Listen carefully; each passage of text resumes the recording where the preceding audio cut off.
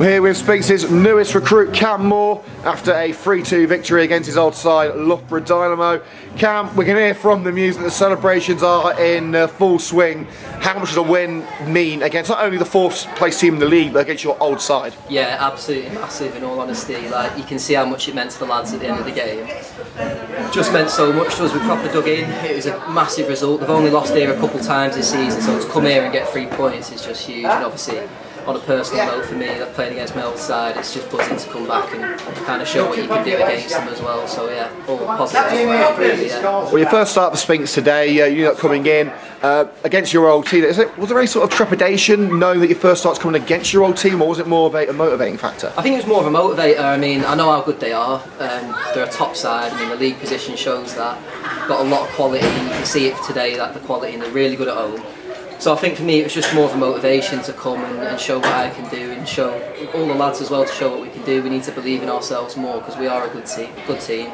The league position that we're in is probably a bit of a false position and we've got to start proving that now and picking up the points that we deserve. Well, some great resilience on show. Two wonder goals from Loughborough, but Sphinx were not to be denied.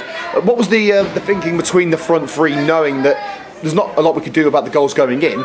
We just got to go out there and score more than that. Yeah, I think it was a case of we knew we could cause them problems. Um, Shippo's quality today caused their backline a lot of issues, and I think if, with me and Ash just trying to play off him and Jordan as well, you could see we could get a lot of joy. And it was just to carry on believing. Like you know they've got quality, you know they're going to get chances and probably score a couple worldies, and it's about just carrying on going after that and, and knowing what you can do on the pitch. So no, we think we did that well.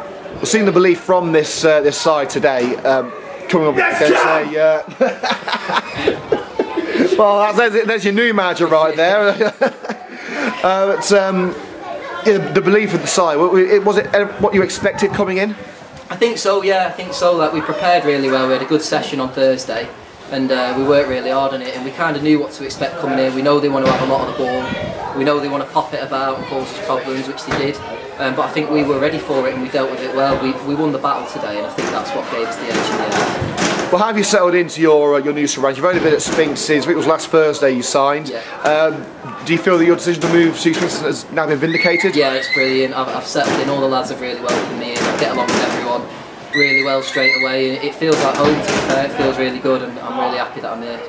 Well, a big double header coming at the weekend. Obviously, there's going to be a bit of uh, squad management. Are you hoping to uh, get another start and get your first goal? I hope so. Yeah, yeah, I hope so. I had a few shots today. I think if I can get them off a bit sharper, hopefully I can get a goal uh, next game. Yeah, so obviously respect the gaffer's decision, whatever they want to do. But yeah, looking forward to it again. Got to go again. Yeah. And finally, of course, it is only your second game with the team. But the lads in there have been battling all year to try and keep their um, heads above water. Now there's an 11 point gap. Maybe they can start to dream. What's the reaction like in the in the changing room after a performance and a victory like this? Yeah, obviously everyone's buzzing. It's 11 points clear now of the, of the drop zone, so we're really happy with that.